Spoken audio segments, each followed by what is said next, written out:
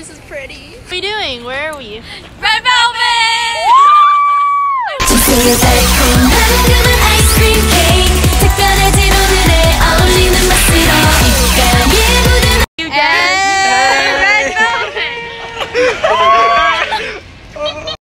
So we just finished dinner.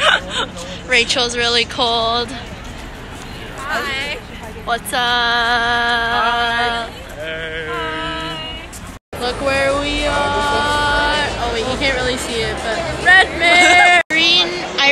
Who loves red velvet. Tell us how you feel. I feel very overwhelmed.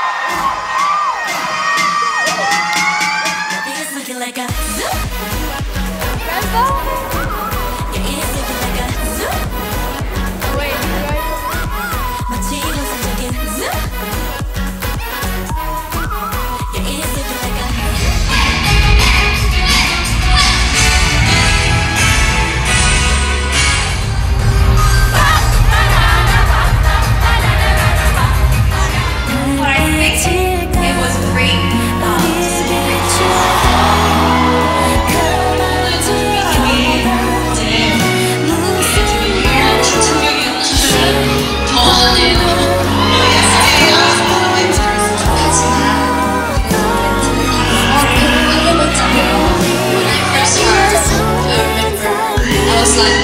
oh my gosh, oh my gosh, are you sure? Are you sure?